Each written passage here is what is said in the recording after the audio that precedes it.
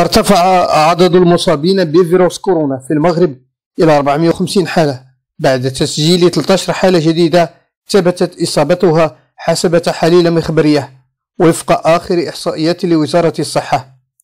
وأفات تحديث لمعطيات وزارة الصحة منتصف نهار اليوم الأحد 29 مارس 2020 بأن العدد الإجمالي للوفيات بالمملكة جراء الإصابة بفيروس ثبت في 26 حالة وازدادت حالة شفاء واحدة لترفع المجموعة إلى 13 وكانت آخر الأرقام الصادرة عن الوزارة نفسها على الساعة الثامنة من الصباح يوم الأحد تشير إلى 437 حالة من حالات الإصابة المؤكدة استنادا إلى تحاليل مخبرية جاءت نتائجها إيجابية.